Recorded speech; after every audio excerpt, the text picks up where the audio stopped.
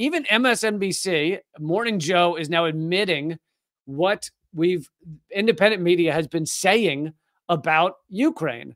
Uh, oh, good, I, I, I found it. All right, so, and this this is my ongoing series about. Uh, I was right.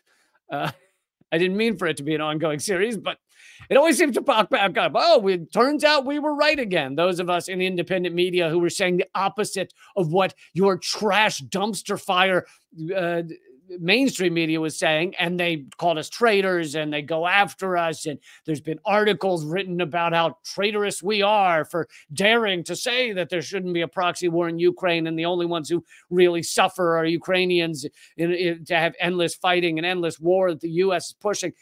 But so for all of this, a year and a half, coming up on two years of this proxy war in Ukraine, your mainstream media has been endorsing it, right? And has been going after any of us who said, sit down at a peace table now. That's where this is going to end. And eventually, that is where this ends, is a peace table deciding how to stop bombing each other and do it now.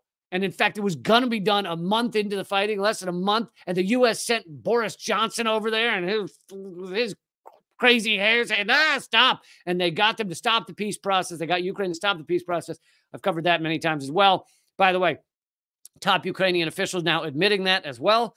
But here is MSNBC. What do you know? Coming around and realizing that we're right, that independent media right all along. I think NATO's done an extraordinary job. How much longer uh, do we continue uh, pushing?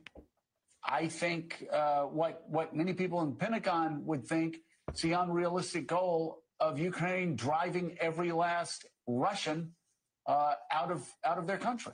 It's exactly the right uh, question, Joe. And what concerns me is when people get disillusioned and increasingly come to the con- what you where you and I are that as desirable as it is, it's simply not feasible. They're going to increasingly say, and we're hearing it in the House, we're hearing it in parts of Europe, why should we keep doing this? We're already stretched. We're trying to support Israel. We're worried about Taiwan.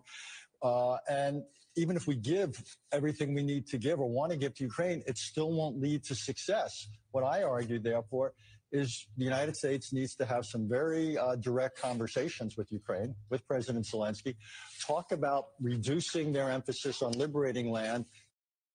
Anyway, uh, you, you get the point. This is MSNBC, which is one of the biggest manufacturers for consent of war, admitting on their, this might even be their most watched show, one of their most watched shows, that it's time to sit down and end this thing at, at a table, at a peace table. And it's what those of us who knew this was a bullshit proxy war from day one, it's what those of us who knew that said.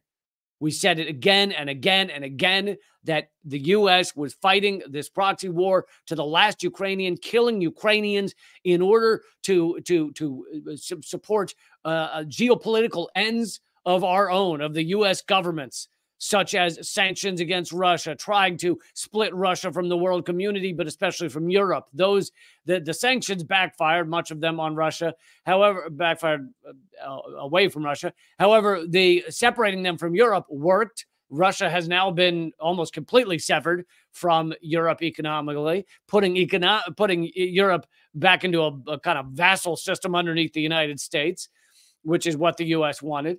Uh, so in some ways, the U.S. got what they wanted. We blew up the Nord Stream pipeline. We got to have that fun. Yay!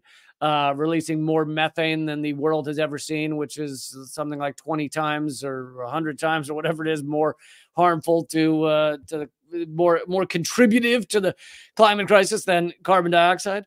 Uh, so we got some of what we wanted, but we didn't get everything that the U.S. government wanted. But through all that, there's been no concern for Ukrainians. There's been no concern for the fact that their society is getting de- destroyed, that their their people are getting killed, that there are mass migrations. None of that has mattered to the U.S. at all. And so here you have one of the biggest propaganda bullhorns coming uh, that, that, that, that uh, you know is created by corporate America, MSNBC, saying even they are now saying it seems like maybe it's a good time to to sit down and uh, hammer out like a like a peace deal or something, um, and uh, and maybe not just keep uh, fighting endlessly. So there you have it. Even from the mainstream media, even they are saying it.